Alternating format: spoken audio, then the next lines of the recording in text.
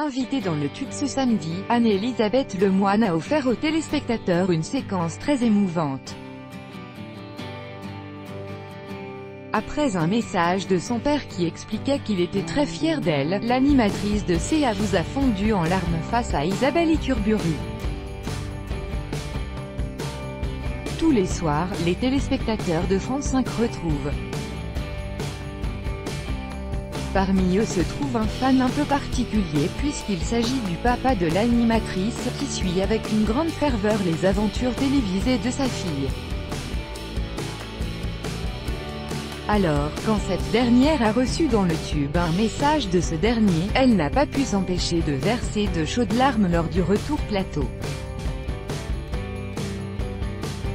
Invitée ce samedi 2 juin sur Canal, Anne-Elisabeth ne s'attendait pas à une véritable déclaration de la part de son paternel, qui a notamment dit « Nous sommes une grande tribu et nous sommes très fiers de sa réussite », très émue lorsque les caméras sont revenues sur elle, l'animatrice de France 5 a alors lancé « C'est peut-être pour mes parents que je fais tout ça ».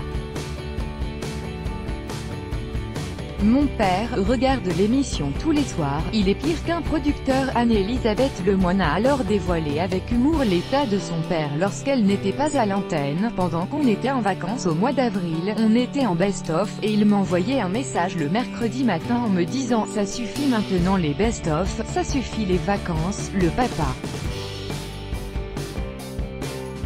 De l'animatrice n'était pas inquiet pour sa fille mais plutôt pour le succès de l'émission, il voyait les audiences, qui étaient des audiences de best-of, il me disait, Anne-Elisabeth, il faut rentrer, ça suffit, plus étonnant encore, le regard du père d'Anne-Elisabeth Lemoine est pris très au sérieux par toute l'équipe de C'est à vous, tous les soirs, il débrief.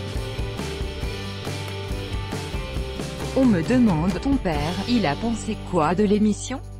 Il a un regard extrêmement précis. Il a toujours suivi avec beaucoup d'attention mon parcours mais aussi celui de tous mes frères et sœurs.